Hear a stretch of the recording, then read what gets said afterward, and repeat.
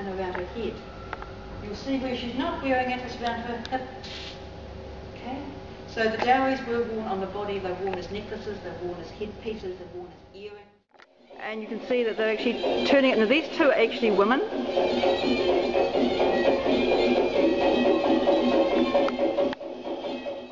Now what struck me when I was in Tunisia, the woman certainly did that, but what struck me compared to the um, the, the teaching that I had used, it wasn't all soft. It wasn't like that.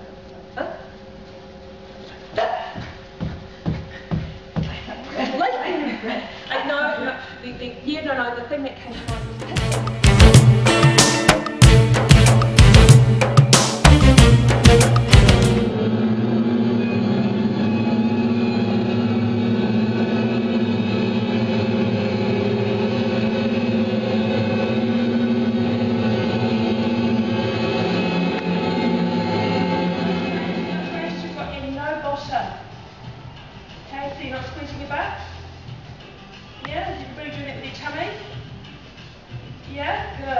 Because what we're going to do is we're going to put that little, sh- little what I call a ripple shimmy, which is just stop lifting it over it. because she felt it was like her artistic heritage. Carolina, however, brought dance closer to its cultural roots and by using mainly North African and Middle Eastern folkloric music and keeping the mu- movements basic to belly dance. Again, Eight, ten. Okay, just bend it forward. There we are. Okay, and try the other side as well. Keeping the feet parallel, keeping your pelvis as.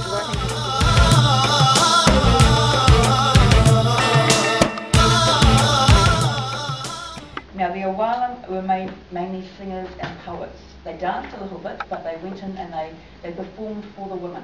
Okay, so they went into the, into the women's quarters, they would recite poetry, they would sing, and they would dance a little bit.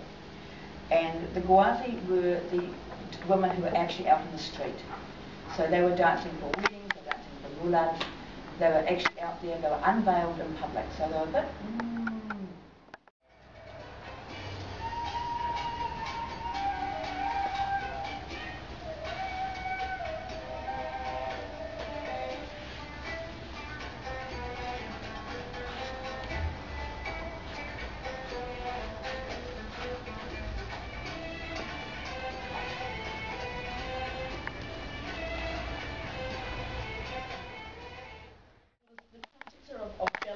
and oriental exotic dance were circulating for a long time. Um, now, in the 70s, the participants that I spoke to who went back that far told me there wasn't a great deal for New Zealand women to do hobby-wise. There was actually quite a lot of dance, um, but it was professional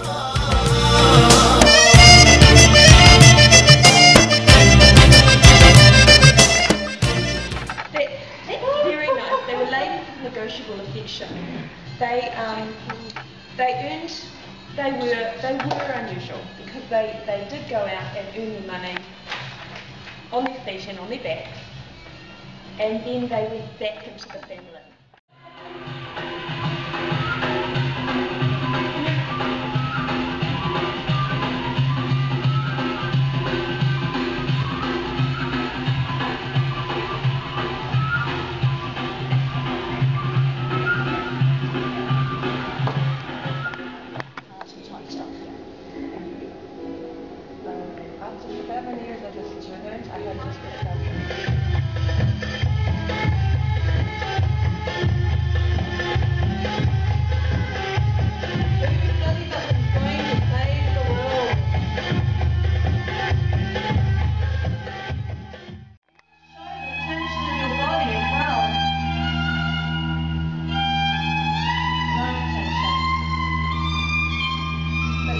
Praise Him.